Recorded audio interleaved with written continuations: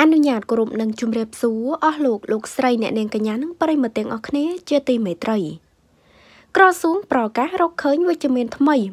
179នាក់ជាចំនួនខ្ពស់បំផុតមិនធ្លាប់មាន។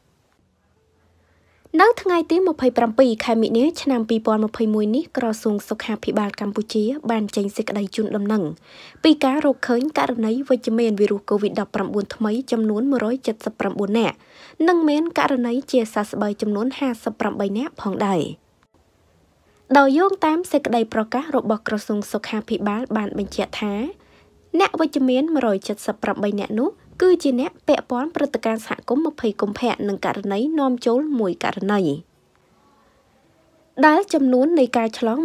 179អ្នកនេះគឺជាទិន្នន័យមួយខ្ពស់បំផុតមិនធ្លាប់មាននៅក្នុងប្រទេសកម្ពុជា ជាចំនួនមួយច្រើនបំផុតមិនធ្លាប់មានចានៅថ្ងៃនេះក្រសួងសុខាភិបាលបានចេញសេចក្តីប្រកាសថារកឃើញអ្នកឆ្លង COVID-19 ថ្មីរហូតដល់179អ្នកឯណោះ ដែលនៅក្នុងនោះ178នាក់គឺជាអ្នកពាក់ព័ន្ធព្រឹត្តិការណ៍សហគមន៍20កុម្ភៈចំណែកឯម្នាក់ទៀតនោះគឺជាករណីនាំចូលពីប្រទេសក្រៅ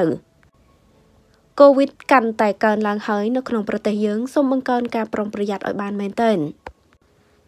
ករណីឆ្លងក៏ច្រើន ជាក៏ច្រើន ស្លាប់ក៏បន្តកើនឡើងដែរជំងឺ Covid-19 បំលែងខ្លួនថ្មីនេះពិតជាសាហាវខ្លាំងណាស់ រយៈពេលដ៏ខ្លីវាស៊ីសួរទាំងសងខាងរបស់មនុស្សយើង ឡើងសោះតែម្ដងគួរឲ្យខ្លាចខ្លាំងបំផុតចាហើយតេតងនឹងព័ត៌មាននេះដែរក៏សូមបញ្ចប់តែត្រឹមនេះសូមចុច Subscribe និងរូបកណ្ដឹងដើម្បីទទួលបានព័ត៌មានថ្មីៗជាបន្តទៀតសូមអរគុណសូមគោរពលា